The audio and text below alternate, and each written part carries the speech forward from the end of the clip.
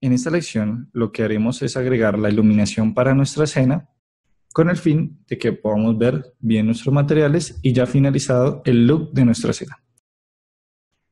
Ya para este caso, lo que hice fue probar bastantes colores, bastantes paletas de color y en este caso me gustó cómo quedó y la dejaré de esta manera.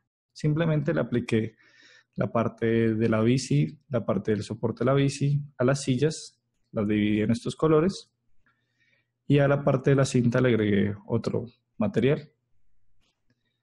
Perfecto. En definitiva, quedé con estos materiales. Vamos a agregar una luz primaria que sería un sol. En este caso sería un physical sky. Agregarla para así empezar a generar la iluminación de nuestra escena. En este caso vamos a aplicar las opciones acá de Shadow. Vamos a seleccionar las opciones de Shadow. Opciones, Shadow. Para ver hacia dónde está apuntando nuestra sombra.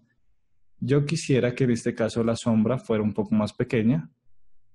Entonces vamos a ir rotando un poco nuestro sky hacia acá. Perfecto. Ahí. Vamos rotando un poco ahí. Y ahí me parece que si vemos, aunque se ve un poco mal en el visor de Cinema 4D, vemos más o menos hacia dónde está proyectada la sombra. Vamos a apagarla, en este caso de vuelta. Ahí ya la tenemos. Y vamos a ver qué opciones nos da en el render para nuestra iluminación. Primero que todo tenemos que ir a Setting del render. Vamos a dar clic en Setting del render esto es lo que tenemos ya previamente hecho, que son el tamaño de nuestra escena, si el frame rate, recuerden, 2997 en este caso. Pues yo normalmente lo dejo en 30 cuando hago animaciones. Y vamos a agregarle algo que es un efecto que es muy importante dentro de todos los softwares o motores de render en 3D, que sería una global iluminación. Entonces voy a ir a efectos, añadir global iluminación y en este caso vamos a dejarla por defecto. Este es un tema bastante amplio que tiene que ver con los rebotes secundarios de la luz. Pero para esta escena lo único que necesitamos simplemente es agregar la global iluminación a nuestra escena para que se vea un poco mejor. Vamos a ver qué pasa Vamos a hacer un render. Y vamos a ver la diferencia en un render con global iluminación y un render sin global iluminación. Vamos a seleccionar acá. Primero vamos a hacer un render normal, sin global. La desactivamos. Y vamos a darle clic en el botón del medio. Tendremos que esperar un poco hasta que nuestro render finalice. Perfecto. Vamos a esperar un segundo hasta que nuestro render finalice. Acabamos el tiempo en que va a tardar. Perfecto. Este es nuestro render sin global iluminación. Vemos que las sombras se ven un poco duras, aún así no se ve tan realista o tan definida nuestros colores. Vamos a agregar global iluminación. Esto tanto afecta la calidad, o sea, aumenta la calidad, como también afecta los tiempos de render, que son muy importantes en el flujo del 3D. Porque una escena puede tardarnos aproximadamente 10 minutos, dependiendo de lo que queramos, si va a ser realista, o mucho más. Vamos a dar clic en el botón del medio y vamos a esperar un tiempo hasta que nuestro render acabe. Vemos que en este caso ha cambiado hasta la forma en que se crea el render. Primero hace un primer paso de la global iluminación y luego sí vamos a ver en nuestro render. Bueno, vamos a esperar.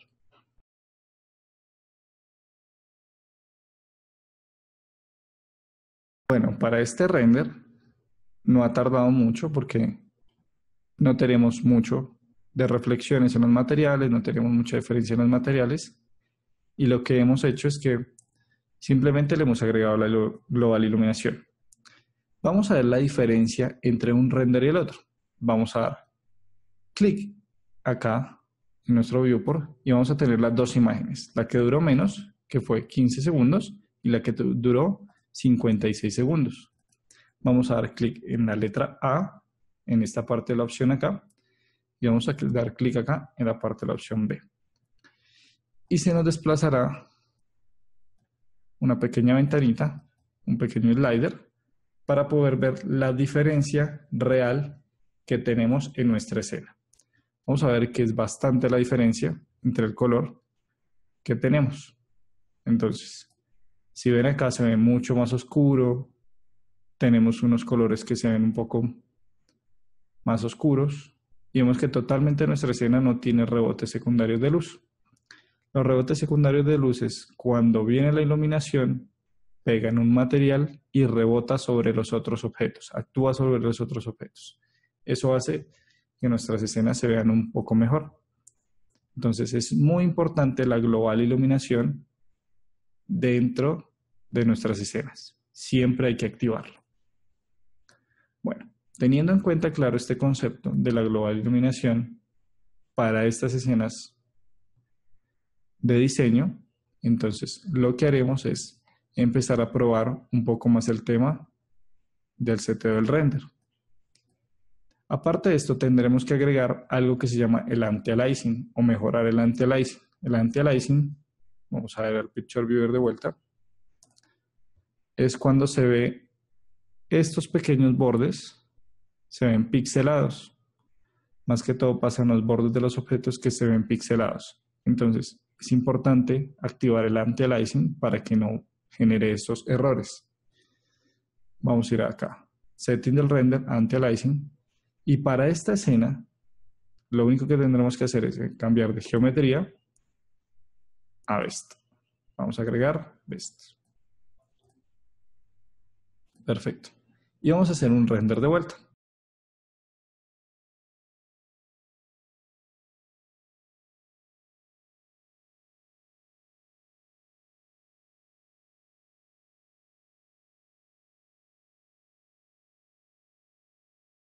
En este caso, si hemos tardado un poco más nuestro render, pero ha empezado a eliminar esos bordes serruchados o bordes pixelados que tenemos de nuestra escena. Son muy importantes tenerlos en cuenta. Lo que vamos a hacer es mejorar un poco más la iluminación para que no sea tan oscura como la que tenemos acá. Vamos a ir al Sky. Vamos a ir a la parte de las opciones básicas de nuestro Sky. y buscar acá la parte de sombra o de shadow. Y vamos a bajarle un poco a la saturación y a la intensidad que tiene esta iluminación. Entonces, vamos a bajar un poco acá la intensidad, vamos a darle 90, perfecto, sí, vamos a ir a la parte de zoom, vamos a bajarle un poco a la intensidad que tenemos nuestras sombras, que sería acá, Vamos a bajárselo a la mitad, 50. Y haríamos un previo render de vuelta. Mejoraríamos, vamos a otra vez activar a la parte de Shadow. Vamos a un poco acá. Ahí. Y vamos a activarle ya acá. Desactivarlo. Y vamos a hacer de vuelta un previo render.